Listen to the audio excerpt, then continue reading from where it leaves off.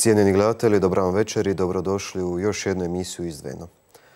Danas obilježavamo 31. godišnicu vojno-redarstvene akcije Maslenica, povijesnog događaja iz Domovinskog rata kada je oslobođeno Zadarsko zaleđe. Moj večerasni gost je Josip Pađić, predsjednik zajednice udruga veterana Vojne policije iz Domovinskog rata RH, a ujedno hrvatski branitelj. Dobro vam večer i dobrodošli u Izdvojeno. Dobro večer vama i vašim gledateljima i poseban pozdrav svim hrvatskim braniteljima u Hrvatskoj i šire. Također pridružujem se pozdravima hrvatskih branitelja. Na samom početku često smo govorili, slušali o Maslenici, o toj bitci, e, vojno-redarstvenoj akciji iz Domovinskog rata, ali nekako je dojam da ipak u drugom planu da se ističu Bljesak, Oluja i neke druge bitke. E, što je zapravo Maslenica? Što se događalo tih dana prije 31 godinu u okolici Zadra? Pa što se događalo? Znači, e, cilj te veličanstvene akcije je bio osloboditi jug Dalmacije, spojiti ga sa sjeverom radi lakše komunikacije, radi, lakše frekvencije, e, što e, za potrebe Hrvatske vojske, što za civilne potrebe i odgurat neprijatelja što dalje od grada Zadra. znači, sa tom akcijom je Zadar sa okolicom prodisao.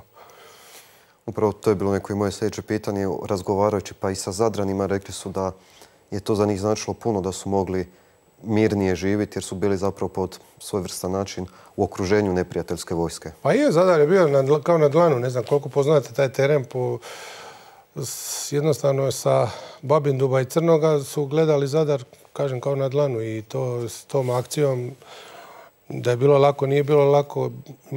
Borili smo se protiv jako, jako velikih snaga neprijateljskih gdje je, gdje je u ta tri dana e, akcija koja je trajala 72 sata poginulo 127 hrvatskih branitelja. I to nije mala brojka, to treba, znati, to treba cijeniti i to treba pomeni sjećanje na njih održavati dokle god se to može.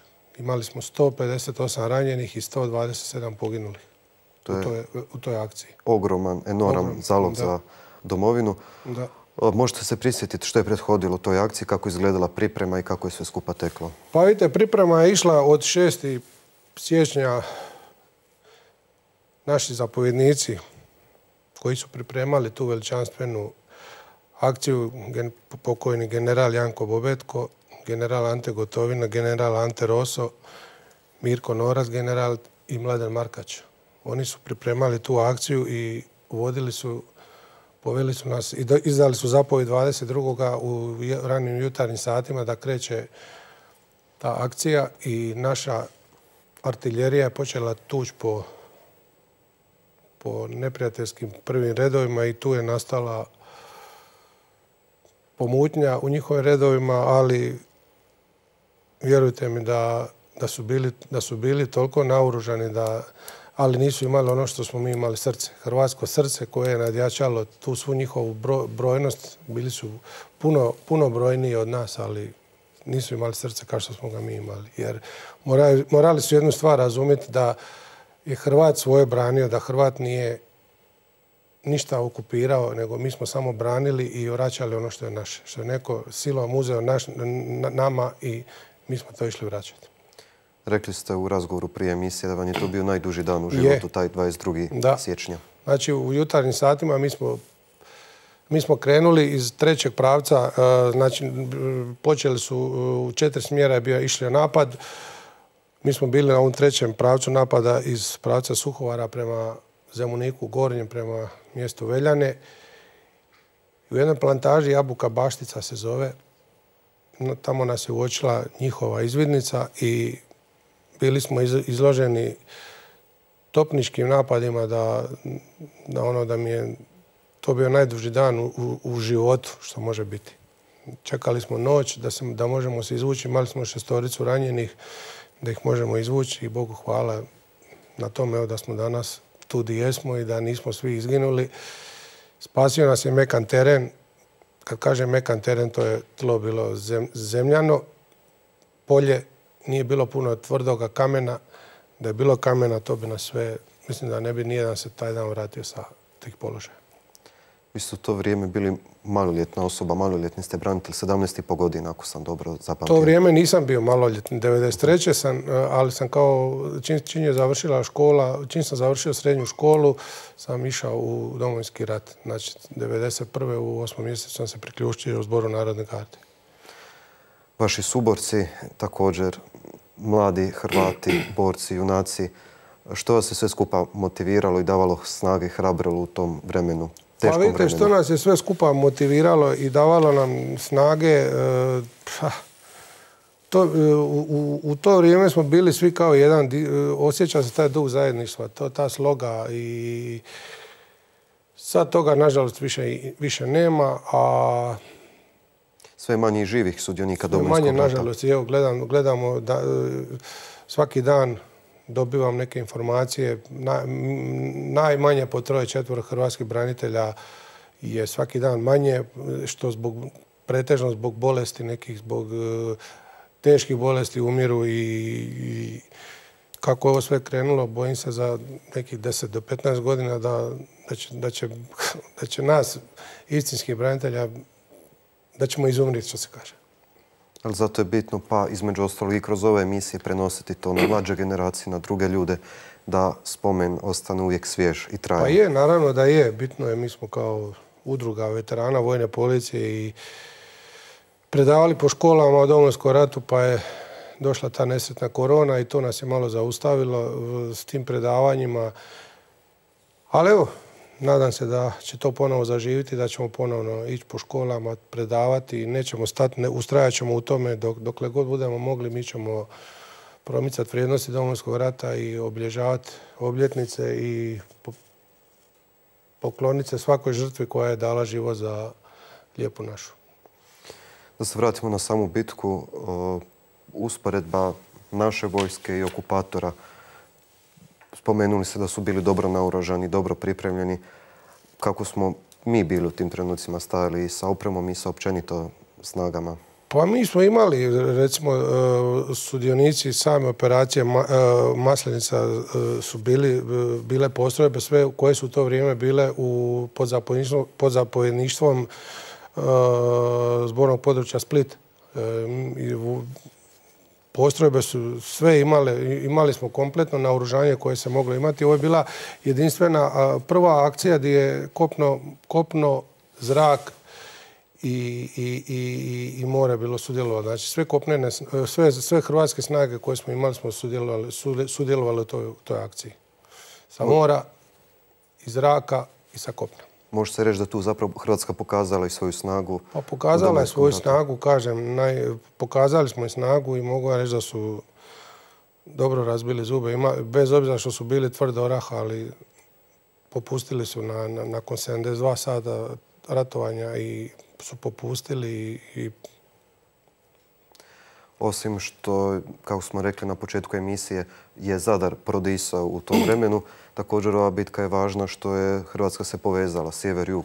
Pa je, povezala se sjever i jug i što je još tu najvažnije, što se nakon Maslenice e, smo se išli na oslobađanje brane Peruća. Jer e, Srbi su pokušali. Jednim dijelom su minirali branu Peruća, imali su u planu da je miniraju skroz, da su to ne da Bože napravili. Cijeli taj cetinski kraj, sve dole do Omiša e, bi poplavilo i to bi bilo šteta, užasna šteta bi bila. Enormna šteta. Da.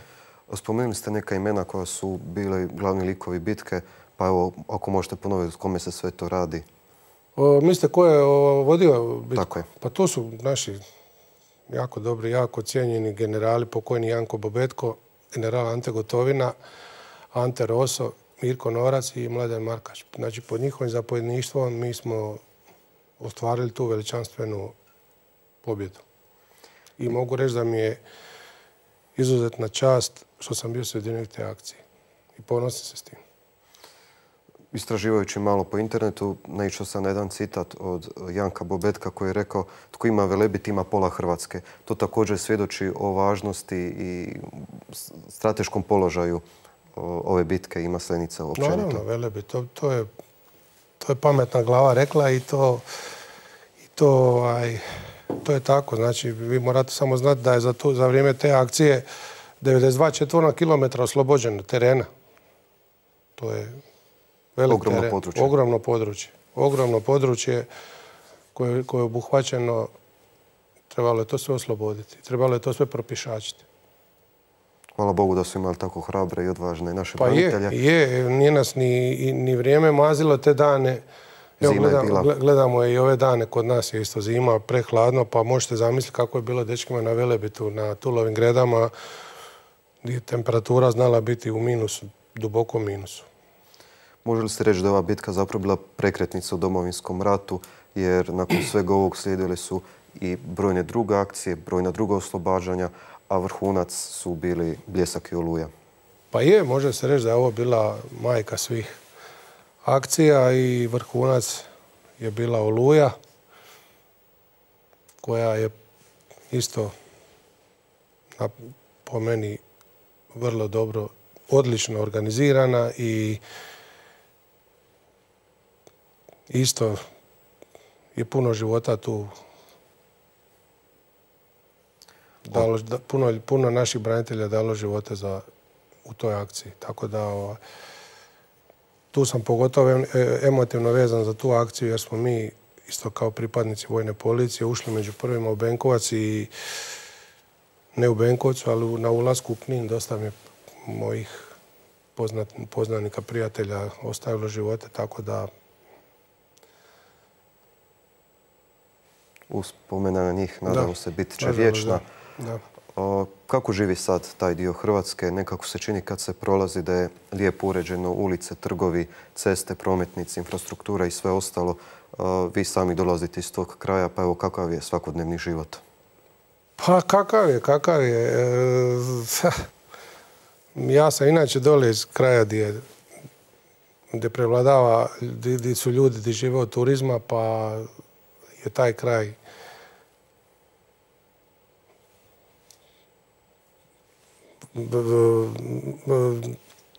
mjesto je, mislim, što, da kažemo o Zadru? Zadar je izgrađen u odnosu, imamo dva izlaza s autoceste, što nema nijedan grad, e, a opet ova mjesta u unutrašnjosti, to je već malo, malo, malo, po meni bi to trebalo možda još, ima još dosta, još se tu dosta vidi od, od rata. Posljedica i Da, posljedica od rata se vidi i ako već taj neko ko je pobjegao, ako mu je već ta kuća uništena, to, to bi trebalo, ne znam, u svakom slučaju rješavati te stvari. rješavati te stvari da se to makne, da to, da to ne stoji, jer to već godine prolazi, to već godinama stoji tako i ko zna dokad će to staje tako. Da, A prepostavljam da taj ko je pobjegao, da se više nikad neće vratiti. Da, to su pak neke druge teme. To su neke druge teme za neke druge ljude, a to se Zadnje vrijeme aktualizirala se tema ponovnog vraćanja, odnosno uvođenja vojnog roka, odnosno obuke. E, brojni su prijedlozi, neki spominju mjesec dana, neki tri mjeseca. Pa evo vi kao hrvatski branitelj netko koji je sudjelovao u ratu, e, kako gledate na to? Je li nam to uopće potrebno? Pa naravno da nam je potrebno. Da nam je potrebno imati ročnu vojsku neki, što ste rekli, spominju mjesec dana, neki spominju tri mjeseca. Da se mene pita, ja bi rok, vojni rok, da mi ne bi niko krivo razumio, stavio godinu dana. Godinu dana bi stavio vojni rok, ali prije toga bi trebalo povisiti plaće Hrvatskoj vojsci i policiji. Mislim da su oni to zaslužili i da su oni naši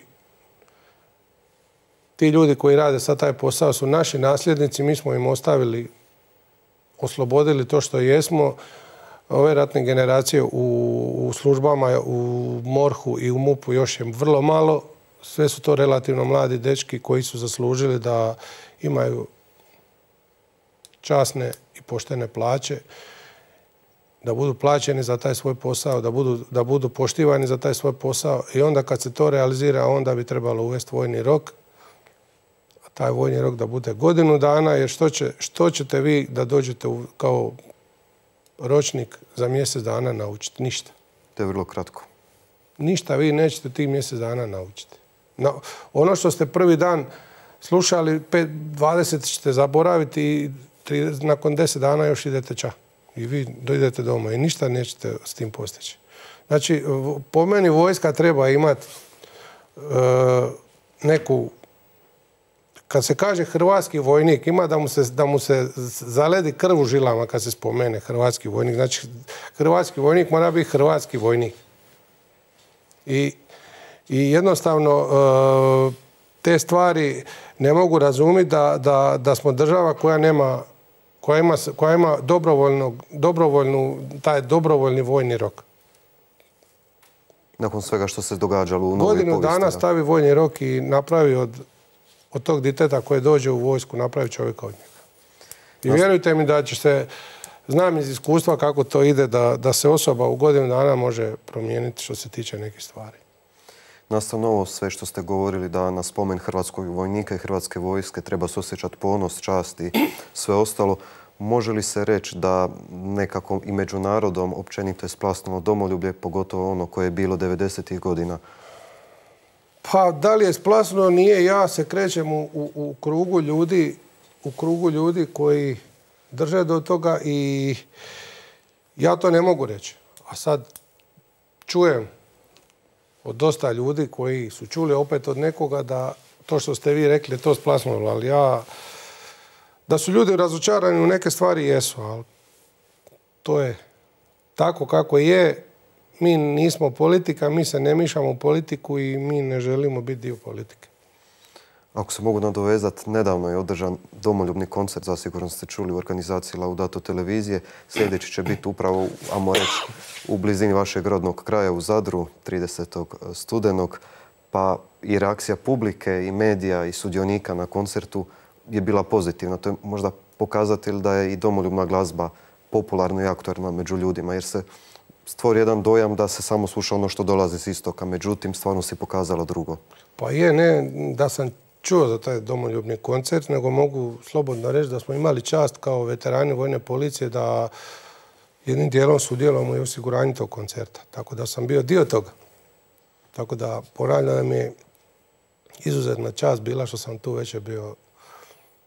Sigurno je bilo lijepo vidjeti mlade, puno mladih da. s nacionalnim obilježima. Bilo je lijepo vidjeti mlade, bilo je lijepo vidjeti i one starije osobe koje su dolazile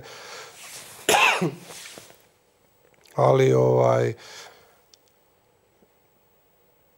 u Zadru veselim se koncertu u Zadru i mislim da, da će Zadar pokazati ono pravo domoljublje i samo dvorana, bit će pretjesna ta dvorana u Zadru. U odnosu na arena je bila prepuna, a samo arena prima koliko prima gledatelja, ali dvorana u Zadru je tri put manja. Lijepo je čuti da postoji interes. Naravno da pa evo imamo upita. Prije dva dana me jedna gospođa iz Zadra kontaktirala da di može kupiti 60, karata, 60 ulaznica za taj koncert i uzele. Sigurno ćemo napuniti i tu arenu. Pa ne sigurno, nego ja sam ono, uvjeren do, do ljeta da će biti to već sve. Da se vratimo samo na domovinski rat i na vrijednosti prolazu godine, prošlo je 30 godina od početka rata, od nekih najvažnijih akcija i bitki.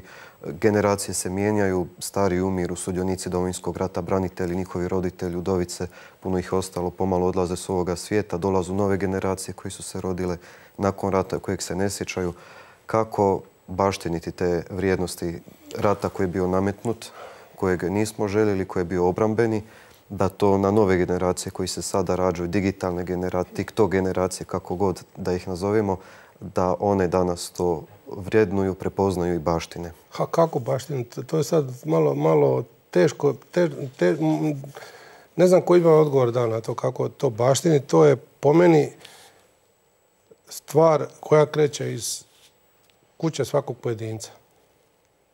Ne mogu ja sad doći vama u kuću i reći, slušaj, vi morate tako i tako. Znači, to je sve stvar odgoja kojeg imate u kući. Što ti sam sve rekao. Ali svakog tu su i državne institucije, mediji, udruge, vi branitelji da to podignete. Mi branitelji to možemo, mi možemo predlagati koliko hoćemo, ali ako politika to ne želi, a ponavljam, mi se ne želimo mišati u politiku. Evo, vidjeli ste i čist primjer danas ovog programa koji je bio za obljetnicu. To je prenatrpano za jedan dan. Pre, prenatrpano. O tome se trebalo razmisliti da se... O tome se trebalo razmisliti. Na više dana obilježava. E, bilo je, e, u proteklih godina se stavljalo u dva, tri dana.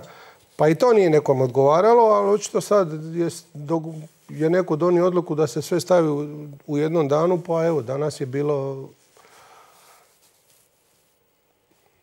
Gužvovito, amo to tako reći. Da. Evo, na samom smo kraju emisije jedna poruka i braniteljima koji nas gledaju kako evo danas i dalje ostati hrabar, uspravan, ponosan na sve ono što se dogodilo prije 30 godina. A unatoč pa- problemima koji nas susreću svakodnevno. Unatoč problem, problema koji nas susreću svakodnevno pravom branitelju to ne treba reći da ostane hrabar. Pravi branitelj, istinski branitelj koji je bio, taj ima u sebi tu čvrstinu, tu hrabrost i, i siguran sam da, da ne daj Bože da, da dođe do čega ponovno da, da bi 90% nas koji smo sad u, mirovini i koji smo još živi da bi ponovo uzelo pušku i ponovo išlo braniti naš dom. Što drugo reći nego hvala vam na vašoj hrabrosti, hvala vam što ste došli tu podijeliti svjedočanstvo i prisjećanje na operaciju, odnosno na akciju Maslenica. Hvala vama na pozivu i evo, vrlo rado ćemo se u buduće odazivati kad god bude trebalo za ovakve emisije da budemo vaši gosti i Evo, na kraju, ako mi dozvolite da pozdravim još jednom sve kolege hrvatske branitelje i svoje sve roditelje i obitelji poginulih i nestalih hrvatskih branitelja. Ja se također pridružujem tim pozdravima. Gospodin Nađić, hvala vam lijepa što ste gostovali u emisiji Izdvojeno. Hvala vama. Cijenim gledatelji, evo kroz ovu emisiju vratili smo se 31 godinu nazad, prisjetili smo se vojno-redarstvene akcije Maslenica. Hvala svim braniteljima i nadamo se da će uspomena na te slavne dane ostati zabilježena duboko u sjećanju našeg naroda. Slijedi pregled dana, do idućeg susreta, srdačan pozdrav.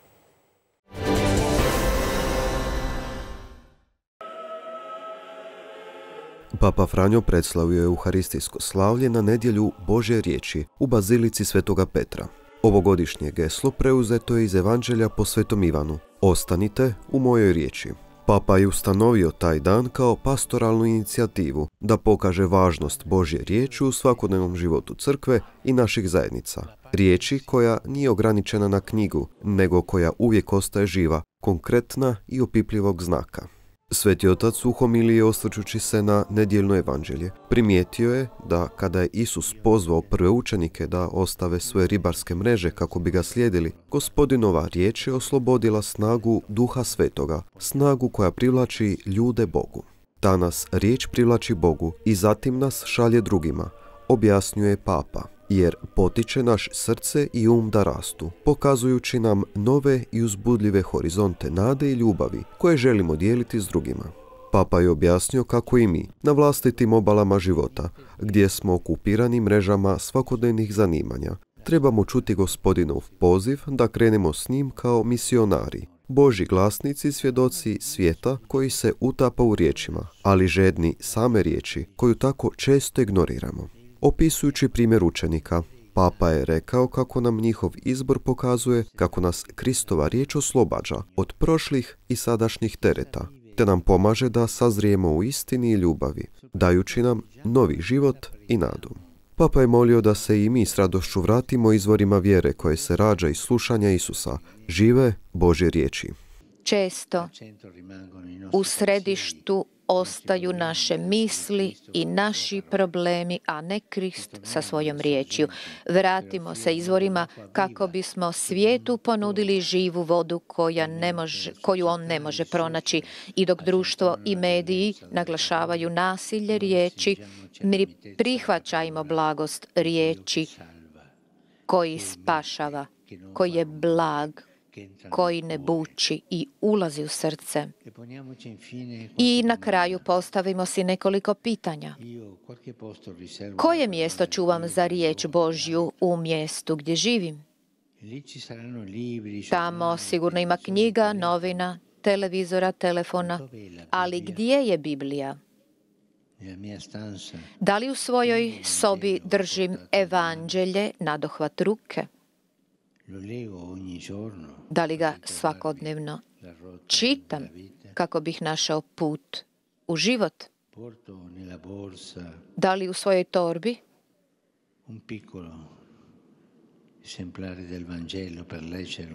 mali primjerak evanđelja kako bih ga čitao?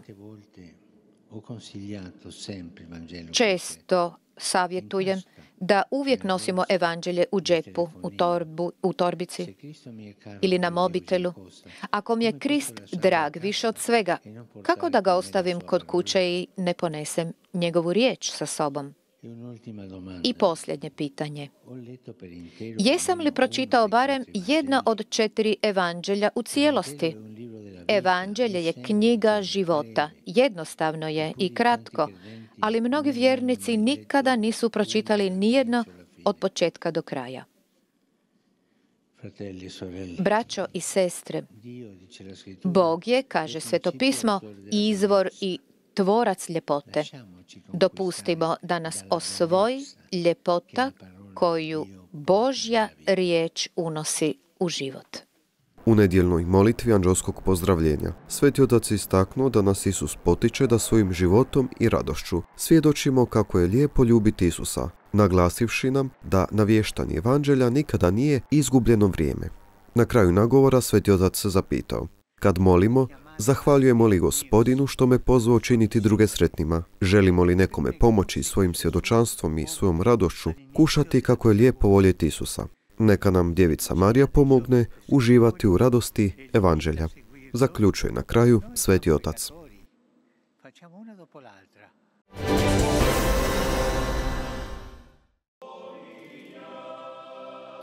Na 31. godišnicu obilježavanja oslobodilačke vojno-redarstvene akcije Maslenica, misno slavlje za domovinu i hrvatske branitelje u crkvi Svetog Šime u Zadru predvodio je Don Damir Šehić. Don Damir je upozorio na omalovažavanje i ponižavanje žrtve za domovinu u poraću. Sjetimo se samo u ovom trenutku mnoštva uvreda, napisa, senzacionalnih naslova, javnog izvrgavanja naših generala i branitelja. Ono što je najviše boljelo je bila prvotna rezignacija i šutnja, a kasnije indiferentnost, koja je ostavila na očigled na milost i nemilost, pravedne i žrtvovane. Pitamo se zašto. Neka to odgovori sljedeća generacija. Oni će vidjeti bistrije, a povijest će možda se i posramiti pojedinaca. Na sprovodu generala Andrije Matijaša Pauka, fra Ignacije Vugdelija bio je rekao Veliki su padali svaka kap krvi koja je prolivena imala je svoj duboki smisao. Zaključuje tada Fra Ignacije i napominje kako je živ onaj narod koji ima u sebi ljude koji su spremni umrijeti za taj narod. A mrtav je onaj narod koji nema pojedince koji su spremni umrijeti. I onda uspoređuje to i sa crkvom. Živa je ona crkva koja ima u sebi mučenike koji su spremni umrijeti za istinu vjere. A mrtva je ona crkva koja nema mučenika. Smrt nije prestrašila naše branitelje, a svjetlo slobode ih je hrabrilo i poticalo ostvariti cilj slobode. 14 stoljeća naš narod žudio je za zemljom mira, pravednosti i slobode. Gdje god je sloboda, tu je i Bog. Gdje god se nalazi sloboda u onom pravom smislu, istinskom, tu se nalazi i Bog. Draga braćo, čuvajmo uspomenu na one koji su dali svoje živote za slobodu, ali nada sme čuvajmo jedinstvo i identitet koji je krvlju izboren. Ništa više ne može boliti pojedinca i narod doli izdaje. Mi koji stojimo čvrsti i ponosni na zemlji koji nam je Bog dao, a vjerujemo da je gospodin upravio one vođe koje je stavio da mogu donijeti tu slobodu, ponosni smo na povijest, ali na sadašnjost, bez obzira koliko bila teška i bremenita. Dragi branitelji, budite ponosni na svoje rane i ožiljke, na križeve koji vam je donio rat. To su svete rane i sveti ožiljci. Budite ponosni na svaki metar i na svaku godinu križa koji ste nosili. Jer vaše svjedočanstvo i prisutnost treba nama ovdje prisutnima, mlađima, da nas uvijek podsjeća na tlo po kojem hodimo, da nije tek tako stečeno slučajno i da je to sveto tlo koje je krvno natopljeno. A onih koji će se povijest stidjeti, nose teže breme na svojim leđima od vas. To je breme neiskrenosti i nevjere. Trebamo zahvaliti i izraziti poštovanje poginulim i svim sudionicima akcije Maslenica koja je bila prekretnica u domovinskom ratu, rekao je ministar Medved. Ona simbolizira u mozaiku svih naših bitaka tu snagu hrvatskog čovjeka u izrazito teškim okolnostima kada je Zadar svakodnevno bio izložen granatiranjima, stradanjima, simbolizira snagu i duh hrvatskog čovjeka, odlučnost, mudrost našeg prvog predsjednika doktora Franje Tuđmana i hrabrost hrvatskih vojnika, policajaca koji su u tako kratkom vremenu otklonili opasnost od grada Zadra, potirali neprijatelja i oslobodili, odnosno Zadarsko zaleđe, deblokirali grad Zadar, e, zauzeli ključne dominantne pozicije na Velebitu i zapravo stvorili pretpostavku za operaciju Luja koja će uslijediti 1995. godine. Prije akcije Maslenica 1991. oslobođen je i veći dio zapadne Slavonije, a 1992. deblokiran je Dubrovnik i jug Hrvatske. Ali ovdje u Maslenici sudjelovali su sve sastavnice Hrvatske vojske i policije i e, jasno dali do znanja neprijatelju da nećemo više trpiti to što čine prema gradu Zadru, dali do znanja cijelom svijetu da smo kadri obraniti i osloboditi svoju zemlju, ali dali do znanja i međunarodnoj zajednici da će hrvatski čovjek sam osloboditi svoju zemlju. I bez obzira na protok vremena uvijek moramo ponavljati to je istina i to su naši temelji slobode koju danas živimo.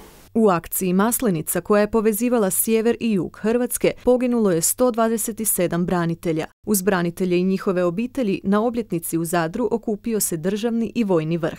Hrvatski vojnici prošli su središtem Zadra sa stjegovima hrvatskih ratnih postrojbi.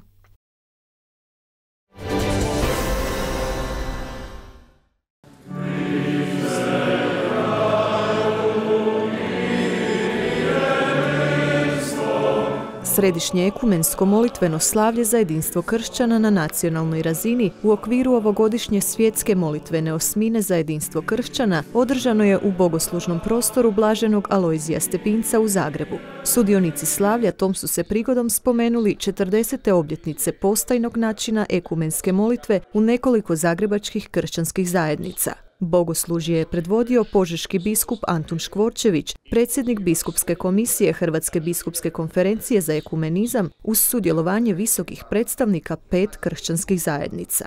Okupili smo se iz nekoliko kršćanskih zajednica u ovom bogoštovnom prostoru, nedaleko Zagrebačke katedrale, da bismo se u okviru svjetske molitvene osmine za jedinstvo kršćana zajedno s prošlom vjernika diljem svijeta sjedinili u molitvi za jedinstvo Isusovih učenika. Činimo to na postajni način kako smo započeli prije 40 godina Misao vodilja ovogodišnje molitvene osmine ljubi gospodina Boga svojega i svoga bližnjega kao sebe samoga, podsjeća nas na najveći izazov koji je Bog ostvario kad je dao utjelovljenog sina svoga za nas na križu i svojom moćnom ljubavlju pobjedio zlo i smrt. Njoj želimo povjeriti svoja nastojanja oko promicanja jedinstva kršćana, rekao je biskup Škvorčević. Osvrćući se na evanđeoske riječi idi pa i ti čini tako, biskup je naglasio da se u tom Isusovom pozivu, upućenom zakonoznancu, krije gospodinov poticaj svima da nastave s međukršćanskim nastojanjima u Hrvatskoj kojima se, dodao je, očitujemo jedni drugima kao bližnji. Svi oni koji pripadaju različitim konfesionalnim zajednicama naši su najbliži jer su po svetom krštenju postali jedno u Isusu Kristu snagom njegova duha te nema veće međuljudske blizine nego li je krsna. Često se sjetim jednoga svoga profesora iz studentskih dana, koji je ponešto u šali znao reći kako je lako ljubiti svoga bližnjega, osobito onoga u Africi, Americi ili negdje drugdje u svijetu, ali je teško ljubiti svoga najbližega. Svjesni smo kako zlo koje smo tijekom prošlosti nanijeli jedni drugima otežava naše sadašnje odnose i nastojanja. No uvjeren sam kako ne smijemo našim nedjelima davati veće značenje nego li dijelu koje je Isus Krist na nama ostvario u svetom krštenju. Nismo se danas okupili ovdje da bismo nešto odglumili, ljeporječivo jedni drugima ispripovjedili, nego da sa svom vjerničkom iskrenošću iznesemo pred Boga rane u našim međusobnim odnosima, otvorene u prošlosti, a nerijetko potvrđivane i u sadašnjosti. Pri kraju slavlja prigodnu su riječ uputili predstavnici spomenutih kršćanskih zajednica. Episkop Buenos Airesa i administrator Zagrebačko-Ljubljanske mitropolije Kiril Bojović, biskup Evangeličke luteranske crkve Branko Berić, biskup reformirane kršćanske kalvinske crkve Peter Sen, protojerej Stavrofor Makedonske pravoslavne crkve Ohridske arhijepiskopije otac Kirko Velinski te starješina baptističke crkve Momir Blažek. Ovo je danas bilo doista jedno e, osvježenje u molitvenim susretima ekumenskim kod nas. Dakle, 40. obljetnica kako se ti molitveni susreti u Zagrebu odvijaju na način postaja u različitim kršćanskim crkvama e, prisutnima na zagrebačkom području. Mogli smo čuti neka meni draga osvježenja u tim našim e, susretima glede ekumenizma. Naime, i moj osobno mišljenje i dojem je da smo zahvaljujući eto onima koji su to prije 40 godina inicirali ovdje kod nas, izdržali sa tim entuzijazmom evo do danas, ali mislim da smo došli u vrijeme i fazu kada moramo razmišljati o novim novim iskoracima i novim osvježenjima. Ekumenizam je bitan i u današnje vrijeme e, kao potreba za ponovno ujedinjenje kršćana. Nismo krivi za to što se dogodilo prije tisuća godina ili prije 500 godina, ali svakako ova generacija je odgovorna za ponovno ujedinjenje. Evo i danas smo se okupili moliti na tu temu. Danas smo se okupili upravo od ljubav prema Bogu i ljubav prema bližnjemu. Ja se nadam da svako sa svoje strane dao svoj veliki doprinos, evo to upoznavanje, to molenje za jedinstvo, vjerujeme da gospodin neće ga ostaviti bez odgovora mi svakako smatramo da je vrlo važna, e, svaki susret sa drugim e, je važan jer nas obogaćuje jer upoznajemo e, upoznajemo se međusobno, zajedničarimo i iznad svega molimo se Bogu za jedinstvo hrišćana. To je ono na što nas sam Gospod poziva kada u Gecimanskom vrtu se moli svom Bogu Ocu i kaže molim te oče da svi budu jedno kao što smo ti i ja jedno. I to smo puno puta u današnjem bogosluženju e, i čuli i e, kroz same molitve se ta tema često ponavlja. Srpska pravoslavna crkva je izuzetno zadovoljna zbog činjenice da 40 godina od samog početka održavanja molitvene osmine u Zagrebu mi učestvujemo u njima i prosto on, ta iskustva nas obogaćuju e, i izgrađuju kako nas iznutra, tako verujemo i zajedništvo među našim, e, među našim crkvama i narodima. Biskup Škvorčević je zahvalio gospodinu Isusu što računa sa svakim pojedinim od nas i sa svima nama zajedno, što nas voli kao svoju braću i sestre, te nas povjerava ocu kao njegove sinove i kćeri. Zahvalio je svim sudionicima koji vole Isusa Krista na taj način da su otvoreni onim drugima, koji ga možda vole jednako kao i mi ili još više od nas. Na kraju je zahvalio svima koji su pripravili ovo sveto slavlje. Čovjek molitve i pouzdanja u Boga, ponizan i blizak bratu čovjeku, s osmijehom na licu i posebnom toplinom u srcu. Tim bi se riječima moglo upisati fra Josipa Marcelića, Franjevca kojih se brojni spličani rado sjećaju. Sjećam ga se kao hodajućeg sveca, poznavala sam i rado sam išla na njegove mise. U njemu sam na oltaru prepoznala svetog svećenika. E, u tako krupnom čovjeku imao djetinje lice. Takav osmijeh, izraz, kad bi se smijao, cijeli bi se tresao. I oni pogledom, kad bi vas pogledao onim lijepim plavim očima, jednostavno njegovom njegovom prisustvu ste osjećali mir, blagoslov. I imala sam milost što sam ga poznavala. I crtica iz njegovog života koja me toliko fascinira, toliko sam na sveti misa bila, jedan od rijetkih svećenika, kad bi prošao kaj gospe od samostana, nikad nije prošao da se nije pokleknuo. Kako bi se očuvao spomen na njegov lik i njegovo djelo, u župi Svete obitelji u Splitu i ove godine organizirani su dani Fra Josipa Marcelića. Različiti svećenici slavili su svete mise, a oni koji su ga osobno poznavali svjedočili su o trenucima s tim pobožnim fratrom. Srijeda je bila poseban dan. Dan kada bi Fra Josip svratio izmjeriti tlak i kada je boravio sa nama, djelatnicima poliklinike. To kratko kupljanje i druženje započinjalo je sa molitvom koja nas je prožimala, ujedinila, osnažila i bila je poticaj da bolje radimo i da maksimum pažnje pružimo našim bolesnicima. Fra Josip nije bio od puno riječi. Iz njega je zračio mir i spokoj. Dovoljno je bilo boraviti u njegovoj prisutnosti i bez ikakvih riječi ja bih osjećala taj mir, jer je on molio i širio blagoslov oko sebe u svakom slobodnom trenutku. Nije trebalo puno riječi niti objašnjenja. Za svaki problem je imao vrlo jednostavno rješenje, molitvu. Nedjelja Božje riječi bila je posljednji dan ovog duhovnog programa, a svetu misu predslavio je nadbiskup Splitsko-Makarski u miru Marin Barišić. Bio je doista čovjek koji je blizak bio svima posebno onima u potrebama, duhovnik, ispovjednik, davao je toliko ohrabrenja ljudima u tim nevoljama, u tim poteškoćama. Može se reći doista da je naš fra Josip bio plodno tlo za riječ Božju. Evo, u njegovom životu možemo vidjeti plodno tlo gdje je donio tolikih plodova za druge, da mogu drugi živjeti i prihvatiti svoj život i ići u toj vjeri i nadi da ne posustaju pod poteškoćama svoga života. Vjernici su proteklih godina nesebično izdvajali novac kako bi fra Josipu Marceliću podigli kip, koji je sada postavljen i blagosloven ispred crkve Svete obitelji. Ostaje kao trajni znak na sve dobro koje je ovaj Franjevac učinio. Mogu reći da u svom životu nisam upoznao takvu osobu. Kad su bile, ja mislim, prve večeri, ove, prvi dan u Fra Josipovi, razmišljao sam o tome da on koji je nama dao tako puno, da mu mi možemo vratiti malo.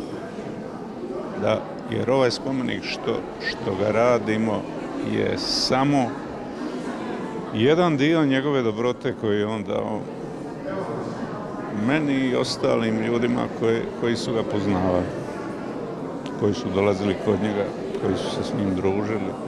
Fra Josip Marcelić organizirao je duhovne seminare, bio čest putnik na različitim hodočašćima na kojima je uvijek nosio krunicu. Proučavao je torinsko platno, bio profesor na Katoličkom bogoslovnom fakultetu, srca otvorena za siromahe i jedan od omiljenih splitskih ispovjednika. Bio je veliki intelektualac, no u isto vrijeme jednostavno fratar koji je slušao glas Božji u svom srcu. On je bio čovjek Božji a kad se za nekoga kaže da je čovjek Božji, to znači da uistinu je čovjek koji je oslonjen na Boga i uronjen u Boga. Što znači biti uronjen u Boga? Znači da je čovjek molitve, da je e, prva dimenzija njegovog duhovnog života vjerničkog, a ovdje kod fra Josipa, svećeničkog i redovničkog života, najznačajnija bila molitva. On je bio trajno čovjek molitve bez obzira da li je to bila molitva adoracije, klanjanja, krunica, klanjanje presvetom oltarskom sakramentu, a nada sve čovjek Euharistije. Fra Josip Marcelić u srcima ovih ljudi i dalje živi. Svetački način života na mnoge je ostavio duboki trag, pa mu se tako mnogi dolaze pomoliti na groblje Lovrinac gdje mu je sahranjeno tijelo. Sjećam se kad mi je otac umra, dolazio je moje majci i s tolikom, pažnjom bi on nju slušao.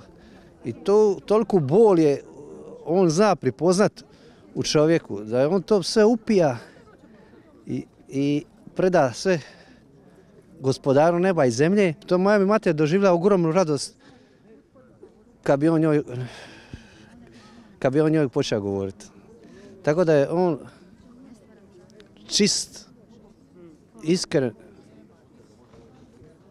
i ne znam kako drugo reći. To nema, nema, nema riječi za njegovu svetost.